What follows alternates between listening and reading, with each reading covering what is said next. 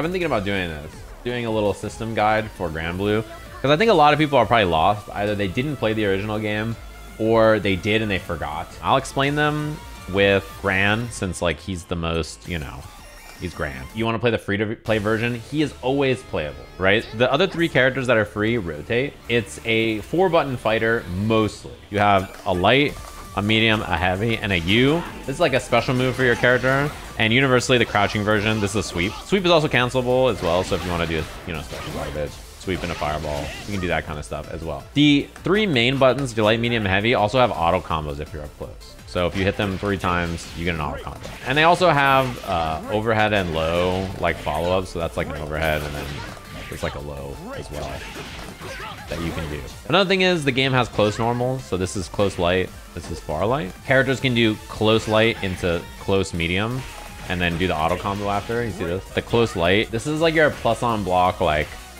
you know, I do a throw after, or like I do a strike after. There's also dashing attacks. Dashing light is a universal, like, forward lunging attack that is plus on block. And most characters can link, like, their light from it. You see this? You can also, if you're up close, usually do your medium auto combo. The other follow-ups are different for characters, so like, you know, he has a low. And then this is this H here. I think this is for combos. Characters normally also have an anti-air on their crouching heavy. Counter hit anti-airs are huge in this game. You get a big combo off of it. If you're curious about what your character does, operating this training mode is super easy. Go to your character guide, and then it has all your moves. So you can turn on the inputs or look at the, the shortcut versions. You can see what your U move does. So it tells you that Gran's move is like chargeable and stuff. Also says the same thing for the special moves and the fancier versions of them and your universal mechanics all this kind of stuff. It gives you a breakdown of the character. The game also has like a, a training, like this is how the character works. Here's some tips on how to play him. Here's how you should play him in mid range. Here's how you should play him in general. And then at the end, there's basic combos. And if you want to launch these and learn a basic combo with the character, you just click it and you say begin. And now you're in the combo trial. And then you're like, okay, I want to go back to training mode. You just click return to training mode. And where you just were standing, you're now back to training mode. The general like pressure and stuff in this game again is like close light into throw, close light into your medium or whatever. You can also like jump to bait a throw a lot of times too. So like run up jump is like really good for baiting throws. But most characters have like a move that's like bounces them off the wall. And most of your combos are gonna be like do a move, it bounces off the wall, then do like a normal into another move.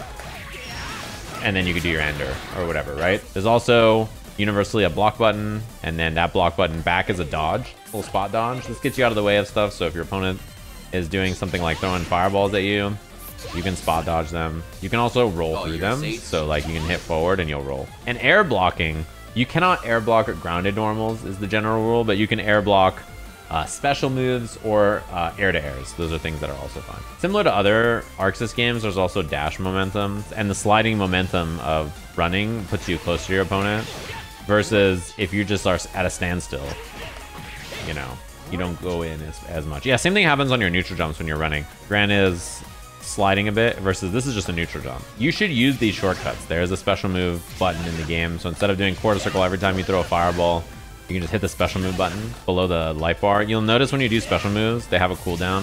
The EX version which is heavy, has a longer cooldown. The other thing that they added in this game that may be new to you if you haven't played Granblue before is that there's a U version of the Fireball.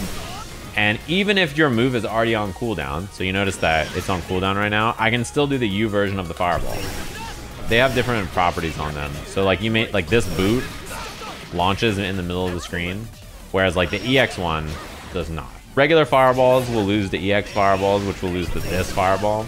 And the characters have just wild combo routes and new options that they can do with this. The U move costs meter. It costs you 50 to initiate, and if it hits, it refunds you 25. Not all moves will refund, but the only other like strange mechanic to worry about is the diamonds at the top of the screen that lets you do this guard break move. If someone hits you with this, then you should hit your medium and heavy together to get out of it, and you can do that to them. You can also use them in, in combos, and it's like a free launcher. Costs a diamond, but if you don't have any moves, then this move will launch them. You can also just do a special or a super, and then it will give you back the diamond you spent, which is pretty cool. A lot of a lot of combos rely on that.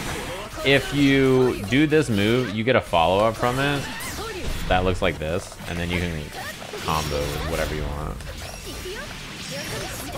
It also gives you a guard cancel. I can do the same input and then guard guard cancel. It costs me one diamond. If you'd hit your big super, like this one, Super Skybound art, it removes two diamonds from them. So Super Skybound arts are huge. If you're at one or zero, you take more damage. So it's very bad to run out of diamonds, as you could guess.